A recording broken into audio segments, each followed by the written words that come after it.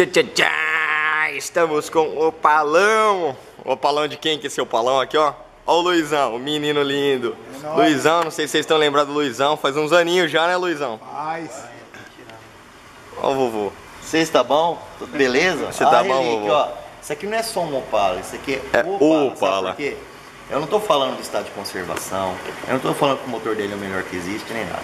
Esse aqui é o Opala, que o pai do Luiz tirou zero quilômetro em 1975. E tá aqui o Luiz, ó. O pai do Luiz, infelizmente, já deixou a gente faz seis anos, né?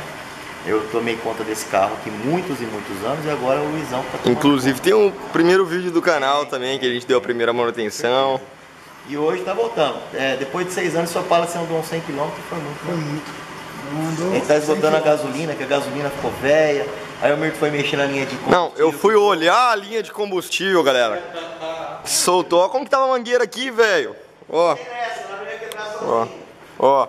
Pera aí. Torce esse trem aqui pra mim. Torce esse trem aqui. Ó o balecão aqui. Eu nunca vi uma mangueira ressecada trem, fazer torce. assim, ó. Pof, Torce, quebrei torce aqui. sozinha. Torce aqui pra mim, ó. Aí Ó. se torcer, quebra mesmo, né? Não, mas o bagulho tá ressecadaço, ó. Bagulho ressecado, começou a vazar, a gente tá tirando já a gasola que tá no tanque. Pra ajudar só deve ter uns 30 litros de gasola velha, né, Luizão? Só uns 30 litrinhos. Tá ali vazando. Colocando aqui bonitinho. Palão 75. Câmbio na coluna. E já volto com imagens. Diretamente da Rede Record. Bom, galera, vamos lá. Carburadorzão DFV do Opala do Luiz Ternieri. A gente já fez esse carburador aqui. Acho que é a última vez que eu fiz uma limpeza faz uns dois anos, sei lá. A gente só vai fazer uma limpeza porque o combustível tá tão velho, mas tão velho, que dá até desespero. Você entendeu? É... Provavelmente deve ter sujado tudo o carburador por dentro. O carro nos últimos seis anos aí deve ter rodado seis anos que o pai do Luiz faleceu. Deve ter rodado, sei lá, 200 quilômetros em seis anos. Então é aquele típico problema. É, fez revisão, mas nem usou o carro, mas sujou já. Vamos ver, é até bom. Isso aqui fica de teste, ó. você vê que o carburador não tem marca de carbonização, não tem nada. Do jeito que eu fiz, parece que tá. Vamos ver como que tá por dentro. Eu acredito que uma limpezinha rápida, descarbonizante já é o suficiente, tá? E trocar injetor e junta. Coisa rápida. Bom, galera, é isso aí que eu falei agora há pouco, ó. Quais são as baixas? A boia encharcou e o injetor. É tipo assim, colou na carcaça basicamente. Virou um pedaço de plástico. Era couro. tá? Lógico, além do cheiro horroroso de gasolina velha que tá isso aqui, é uma limpeza no descarbonizante. Provavelmente não vai precisar nem passar nos outros produtos. Aqui ferrugem, né? Tá? É isso. É o efeito do carro parado. Tudo entupido. Já volto. Galera, vamos lá. A gente vai colocar um kitzinho de juntas, um pistão injetor novo de couro. Né? O outro não deu tempo nem de gastar, né? Ficou muito tempo parado. Eu acabei dando banho completo mesmo. Tá? A carcaça estava muito entupida, é, tinha ficado muito resíduo e acabei dando uma outra carga de cromático nele para ficar mais tranquilão. Ah, tinha pontos de ferrugem bem extensos aqui na, na, na base, a gente tirou 90% ou mais, tem alguma coisinha, mas é ferro fundido, infelizmente, né? A boia a gente vai arrumar uma outra. E é isso. Vamos montar essa bagaça então. E já estamos de volta. Bom, galera. Sem novidade, né? Eu, eu que mexo nesse carburador aqui nos últimos 30 anos. Então não tinha o que fazer. Na realidade, a gente só precisou trocar a boia porque estava encharcada. Aqui porque é couro, mas já virou plástico praticamente, porque ficou parado. Eu vou dar um zoom para vocês verem. Nem chegou a gastar a peça. A peça está inteirinha. Quer ver? Vamos ver se. Olha lá, ó. Que judiação. Só que o couro, ó, eu dei uma rapada com a unha lá, ó, já arrancou um pedaço, tá vendo? Unha de lobisomem. É. Aí, ó. O couro, na realidade, ele virou um plástico, ó. Por quê? Ficou parado na mesma posição, sem movimentação. Aqui dentro vai uma mola para fazer a expansão dele, né? Então aqui já grudou, ó. Ó, e a peça mesmo assim é boa, ó. Agora que ela ficou fora, ó, puxando a peça, ela tá querendo até voltar ao normal. Mas lá dentro, ó, a molinha lá dentro. Coitadinha da peça. Não andou 100 km, mas fez o papel dela. Trocamos a boia e também trocamos a agulha. Tá? Jogo de junta. Tchau, obrigado. Daqui a pouquinho a gente tá com o bichão montado lá no carro. Bom, Mirto louco aqui no opalão do Luiz. Ó, vai fazer aqui as conexões novas, né? É. Colocar aqui, conexãozinha bonitinho. O distribuidor aqui tá zoado. Depois a gente vai tirar pra fazer. Tá? Mirtão dando aquele grau aqui no opalão. O que que é isso aí, Mirtão? Lava seco. Lá, peraí, peraí, deixa eu coisar aqui no zoom. Lava a seco. Ó, Vou dar uma lavadinha de nojento. leve aqui para o motorzinho, né? Não vai dar pra gente fazer aquela, aquela limpeza padrão, 100% muito louco, por causa da correria, tá? O Luizão precisa do carro. É, tá meio Não tem complicado. muito tempo pra gente, porém a gente já vai marcar um dia pra dar aquele Talento. talento gostoso que vocês estão acostumados. Porém, o carro não vai sair com poeira daqui, né? É isso aí, Mirto Louco. Faz a conexão aí, vamos meter o louco. Pátria! Brasil. Fala galera, olha o distribuidor do opalão do Luiz, ó. Mas nem pegar mais, pega. O rotor quebrou. Por dentro o distribuidor tá meio zoado. Porque eu cheguei a tirar o platinado para dar uma melhoradinha, mas ferrujou tudo, acabou a platina. Não tem mais nada. Condensador. Aí o Luizão vai pegar um rotor condensador platinado. E aí a gente vai desmontar o distribuidor para vocês.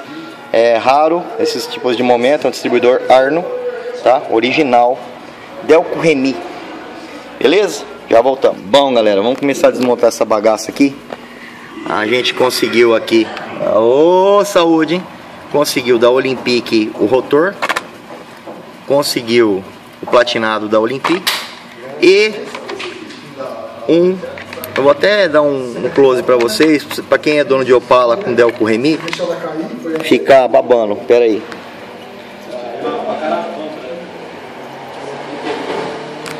Ó.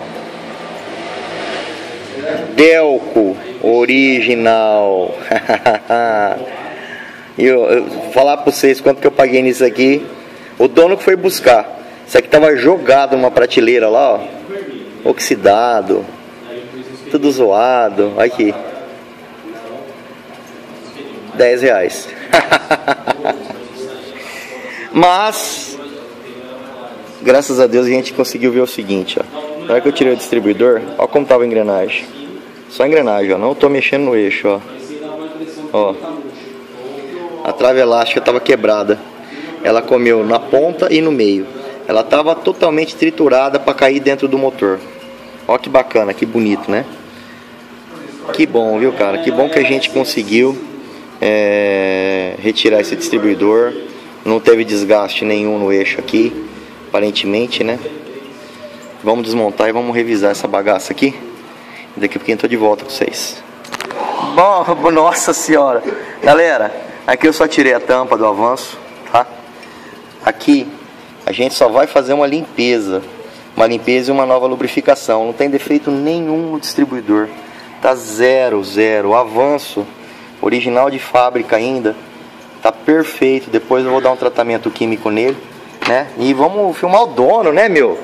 Ó, o Luizão, vocês já conhecem o Luiz, já que o Luiz apareceu num monte de vídeo, É verdade. né? Fala um pouquinho do Opala, Luiz. Cara, esse Opala é, é relíquia meu falecido pai, tá?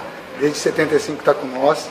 E agora nós estamos dando grau que vai co- começar a dar uma volta maior com ele. Porque ficou muito tempo parado e vai deteriorando um pouco. Agora a gente vai dar um grau legal aí pra. É, que nem eu mostrei as pecinhas. Peça nova deteriorou de ficar parado. Exato. Os últimos seis anos andou quantos quilômetros esse carro? Não andou 100 km, se andou. Foi muito. Da última vez que o Silvio mexeu no carburador. Faz uns dois, três anos Faz uns mexi. dois, dois, três anos que o Silvio mexeu. Mas Nossa, é isso aí, galera. Vamos lá. é isso aí, ó. O palão, ó. Chique, chique, chique. Depois eu vou dar uma volta dirigindo esse trem que faz tempo que eu não dirijo, hein? Mas é isso aí, vamos limpar e já voltamos. Bom, galera, vamos lá, ó. Não podia ser diferente, né? Chaveta aqui que tava quebrada, a gente arrumou uma. O Leão depois vai trazer. Demos aquele talento, ó. Só uma curiosidade pra vocês, tá? Vamos lá. Ó, Arno SA, Delco Remy, Rua Coronel, deve ser Domingos Ferreira, 375 São Paulo. Limpinho, tudo bonitinho. Avanço restaurado, mesa restaurada, demais pecinhas. Aqui a gente não vai nem chegar a desmontar tudo. Vamos só confirmar os apertos, engraxamento, montar as peças, colocar o pino e colocar no lugar. Beleza? Só pra vocês terem uma ideia, a situação que tava de o platinado da bagaça aqui. Tava já em estado calamitoso. Isso aí. Valeu. Bom, galera. Tá quase tudo pronto. Faltando só a trava elástica aqui da engrenagem, né? Virou mil pedaços. Distribuidorzinho topper. tudo lubrificadinho, platinado, condensador novo, rotor novo, avanço restaurado. E vamos colocar. Isso aqui é óleo de lubrificação, tá, galera? Lubrificação do distribuidor tá bem lubrificado. Vamos colocar o pino elástico aqui que estava quebrado e montar o bicho lá para ver que bicho que dá, tá bom? Então é isso. Só que só amanhã, agora é 6 horas da tarde. Tchau, tchau. Bom, galera, vamos lá, ó. Vamos funcionar o carro do Luizão. 20 anos parado. Olha o que aconteceu. Vocês viu aqui? Culpa de Que lindo. Culpa do Mirto. Foi dar partida no carro. O carro eu queria pegar e tava dando contra. Olha aí, o que, que aconteceu? Ai, ai, ai, ai, ai, ui, ui. Olha que bonito. Luizão, Luizão, segura o coração, irmão. segura o coração. Bom, vamos lá, galera, ó. O Junião encaixou aqui, né? Encaixou a vareta. E vamos torcer. Agora essa tampinha aqui é uma tampinha modelo JR Car, exclusiva, né? Para regular as válvulas. Né? Vamos ver, daqui a pouquinho eu chamo vocês de novo.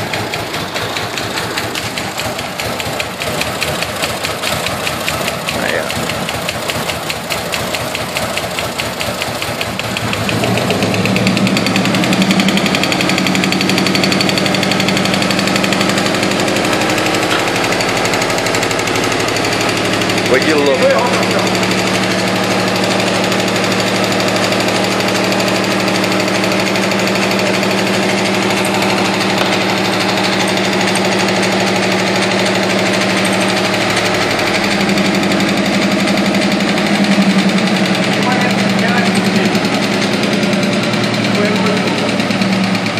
Olha aí.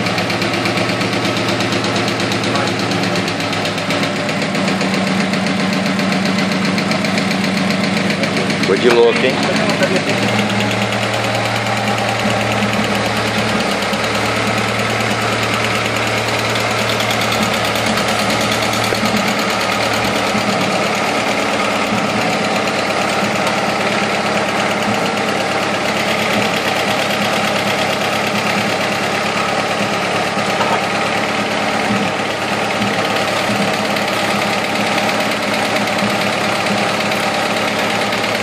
Que briga, hein? Bom, galera, então tá aí, ó. Resultado final. Regulagem de válvula aqui que o Junião fez, né? E aí, Junião? Regulagem raiz, Junião? Ah, é, né? Opala, para quem não sabe, é um sistema com tucho hidráulico, então não tem como você fazer uma regulagem precisa com motor sem estar em funcionamento. Até porque cada um carro com o outro tem um certo desgaste, talvez um custo carregue um pouquinho mais, um pouco menos. O certo, correto, é fazer essa regulagem com o motor em funcionamento. É o que eu sempre vi fazer, desde que eu me entendo por gente, que funciona, né? Para quem nunca viu aí, ó, é uma tampa do Opala cortada para ter acesso à regulagem. É, Essa tampinha aqui já regulou muito a Opala. Dá uma melecadinha no motor, mas depois passa um pano, tchau, obrigado. Então é isso aí. Dá o telefone aí pra quem quiser fazer uns trampos com você, pô, da região. Bom, da região aí, 3232-9456. DDD telefone 17. esquina. Liga lá, agenda um horário, a gente faz uma revisão. E outra, você também faz a restauração de algumas peças, né? Tem tubagem de opala mesmo. É, as tubagens, os coletor de opala. Coletor de opala, enfim, tem bastante. Exatamente, é. A Sistema gente, de freio em geral, pinça, pistas de freio, pinça de freio, retífica de disco. pinça de disco, campana, lombo sob medida, na parte de buchamento de cavalete de pinça. Beleza. Então é isso aí, ó. Daqui a pouquinho a gente volta. Bom, galera. Dá umas duas bombadas aí, Mirko. Tá gelado o trem. Hoje amanheceu fazendo 8 graus. Tá bom. Deixa na lenta. Deixa na lenta. Ô, palão nervoso tem. Tá com combustível bravo ainda e falta um acerto fino, hein? É, agora nós temos que fazer os ajustes final dessa bagaça. Olha. Por isso que eu falo, o motor tem 500 anos de uso. É a mesma fita do motorzinho Renault, velho. O bagulho é guerreiro, guerreiro. Você mantém a configuração original do motor sem inventar chifre na cabeça de cavalo, velho. Você tem um carro essa da vida. Bom, que a gente revisou. Revisou, fez uma limpeza e trocou o reparo, né? Porque ninguém mexeu desse que nós mexemos. Fez a revisão no sistema de ignição. Restauramos o distribuidor. Distribuidor a gente restaurou. Deu Beleza. Remy, Remi, Remy, Remi, François. François. E tá aí, bichão. Vamos deixar o bichão funcionar um pouco, Mirko. E vamos aproveitar, vamos dar partida nessa mandioca aqui. E essa coisa linda aqui? Isso aqui daqui a pouco a gente vai mexer nas válvulas, cabeçote. Vai essa mandioca? Funciona essa mandioca louca aí.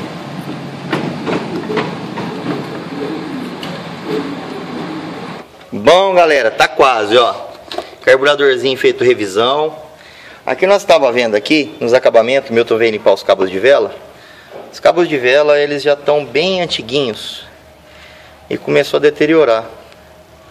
Só, da, só do Milton pegar aqui para passar um pano, os negócios aqui, já começou a ficar esquisito. Não tá querendo focar muito bem não, mas vamos lá. Focou. Né? A parte metálica dele tá bem frágil. Só do Milton pegar na mão, basicamente, ó, tá fazendo quase força nenhuma. Tá vendo, ó? Já abre. Então a gente resolveu aqui, ó, colocar uns cabinhos novos, né? Vamos lá. A gente está colocando aqui o GC5015 da Gauss, tá? Abre para nós ver, Milton.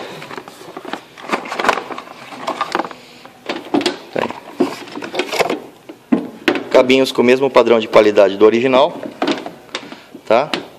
E a gente vai colocar aqui, ó. Ah, puxa aqui para mim, Milton. Né?